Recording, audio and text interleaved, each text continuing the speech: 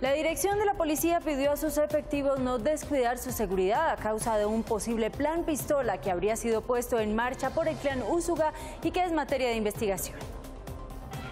Se conoció que esta organización al margen de la ley estaría ofreciendo 2 millones de pesos por cada policía asesinado. Por esa razón, los altos mandos de la institución estarían pidiendo a sus policiales que extremen las medidas de seguridad para evitar este tipo de acción en su contra. Según inteligencia de la policía, detrás de estos ataques no estaría solo el clan Usuga, sino también el ELN. Esto se conoció después del asesinato de siete uniformados, tres de ellos en Cartagena y en los departamentos de Antioquia y Nariño.